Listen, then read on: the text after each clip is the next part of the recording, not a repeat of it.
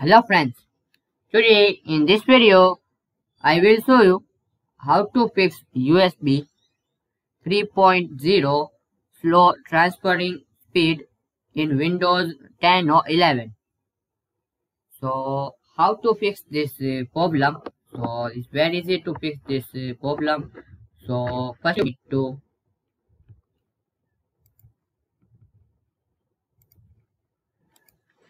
So search CMD and right click on command prompt. Click on run as ad administrator. It asks permission so click on yes. Now here you need to type this uh, command line. If you comment so I will give in decision box so you need to just copy and paste this command. This command you need to type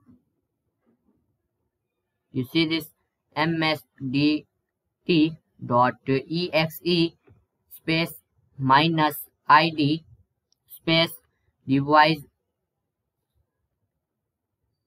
device spelling is d e v i c device and uh, d capital and here device and d capital i a g n o s t i c. So type this command line.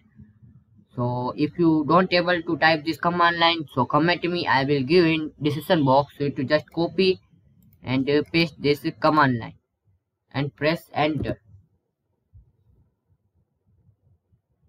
So this type of screen will be open.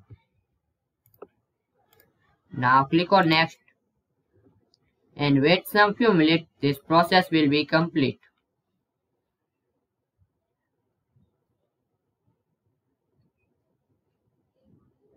and after this process will be complete so here you see this close option so close it. So your problem will be fixed.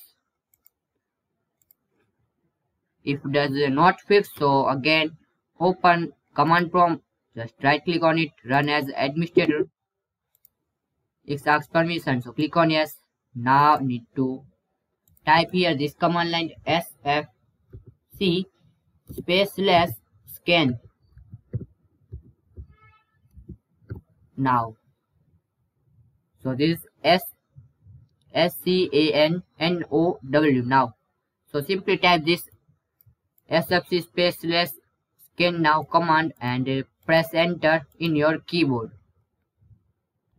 And after this process will be complete so close it. And uh, restart your pc or laptop and after that you resolve this problem.